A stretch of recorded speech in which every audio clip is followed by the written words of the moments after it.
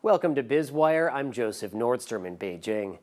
The U.S. Treasury Department issued a report on foreign currency, saying the recent weakness in the Chinese yuan raised serious concerns, but declined to accuse China of being a currency manipulator. For many years, China has run a large trade surplus, so the country's central bank has had to buy dollars to keep its currency from appreciating. China now has nearly $4 trillion in reserves. A more valuable currency makes exports less competitive, but now that China's economy is shifting away from a reliance on exports, authorities until recently have allowed the yuan to gradually move up in value. Last month, monetary authorities widened the range the yuan can trade daily to help the financial system prepare for a freely floating currency within two years. To safely allow the yuan to float, though, the country will have to enact far ranging financial reforms to offset the likelihood of a crisis. This path is part of a strategy reformers have used in the past. Chinese officials often set targets that obligate the government to pass legislation that would otherwise face strong opposition. Now, some of China's strongest advocates of financial modernization have welcomed international criticism towards its currency policies.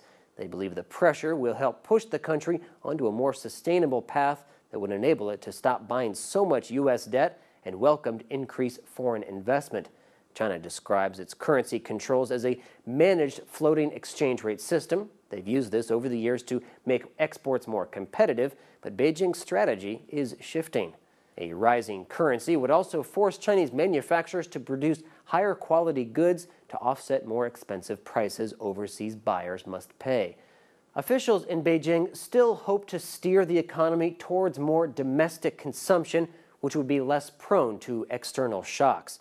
Some say that the recent yuan weakness is to give exports a boost, but this is unlikely as it doesn't change the long range trends that buyers look to when securing contracts. Keeping the yuan from rising is expensive as it requires buying huge amounts of U.S. treasuries. U.S. debt is secure but offers little in the way of appreciation. The main objective of the recent yuan depreciation is to stop the inflow of funds that are disguised as payments for exports and to school firms to more prudently hedge their currency positions. In its report, the U.S. Treasury said the widened trading band, quote, gives China an opportunity to reduce intervention and allow the market to play a greater role in determining the exchange rate. But the report says that the reform process is incomplete, something no Chinese official would dispute. You're watching BizWire on the Blue Ocean Network, China's first and only privately owned English language broadcast media.